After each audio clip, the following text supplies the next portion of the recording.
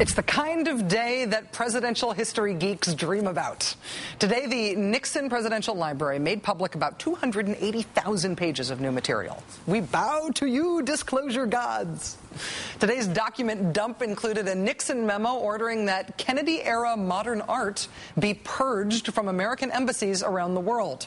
President Nixon called the art, and I quote, the uglies. There's also a handwritten note suggesting that G. Gordon Liddy, misspelled, uh, be hired for a project that later became the Watergate break-in. But the nugget that caught our eye uh, was a story that historians have known about for years, but which often gets overshadowed by Watergate, its vastly bigger and more historically important cousin. It's something called Chapman's Friend. Chapman's friend was the code name for a spy the Nixon campaign planted among the journalists covering his Democratic rivals on the campaign trail.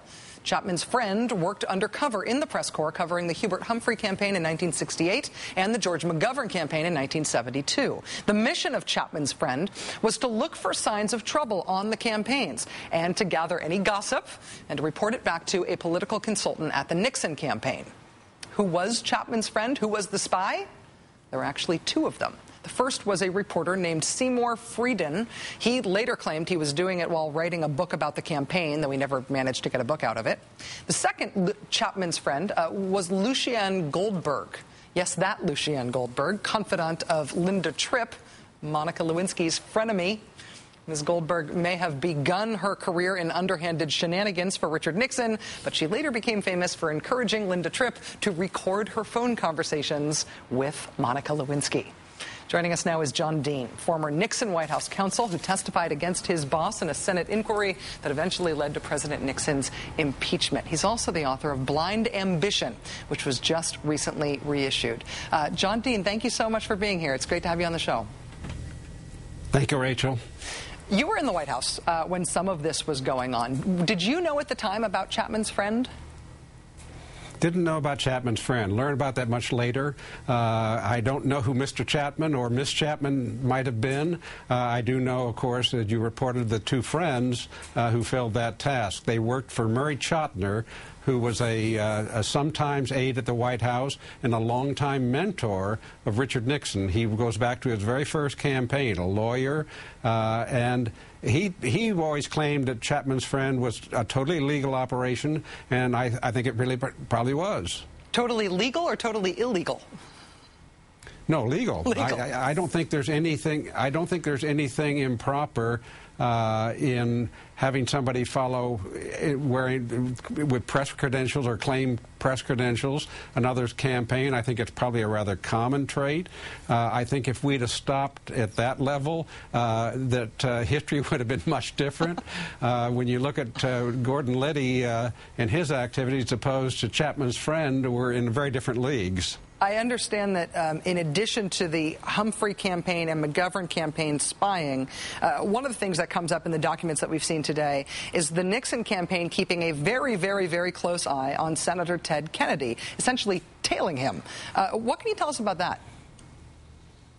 Yeah, that uh, when I uh, when I got to the White House, I slowly learned that this had been in place since the Chappaquiddick incident uh, that Kennedy was involved in, and the Nixon people had thought it very important to get all these facts out, since they believed that uh, Edward Kennedy was the most threatening potential opponent that Nixon might face in '72. So they actually had an, an investigator there who posed again as a journalist, asked all the embarrassing questions at press conferences He was actually a, a former New York City detective uh, who knew his way around these sort of things and was able to dig up an awful lot of information. And after that, it, it, it continued, and uh, the, the, the, document I saw today is when they wanted to increase it to, seven, uh, to 24 hours a day, almost constant coverage of Kennedy. Uh, I happened to shoot that down, Rachel. I thought it was absurd. Uh, the whole Kennedy covering had had really uh, uh, faltered under my my tutelage when uh, they alerted and asked me for uh, my thoughts, and I just thought it was insane. And fortunately, the man who was doing it thought it was insane too. So it finally did dwindle down to nothing, and there was very little coverage at the end. Was the reason that you thought it was insane because there was a risk of getting caught, or because there was not going to be anything useful that would come out of it that would justify even minimal risk? I think it was all those things. The few reports I had been shown, uh, and I've since looked at them in the aftermath of Watergate, they really are just gossip. They're, they're speculative. They didn't have any hard information. In fact, Kennedy was behaving himself, and they were very distressed about that. Uh, that comes up on a couple of the tapes, uh, that they're not very happy with the results they're getting, that he's being a good boy. So uh, I, I just thought, one, there was a high likelihood that somebody could get caught doing this. Two, it would take an awful lot of, of talent to do it. Uh, I did get wind later that there was a plan when I had sort of shot it down to, to get the Secret Service to go up and provide protection to Kennedy and use that as a spying technique. But Kennedy was smart enough to turn down the president's invitation to provide some protection for him. John Dean, former White House legal counsel to President Nixon. It's always great to have you on the show. Thanks, John.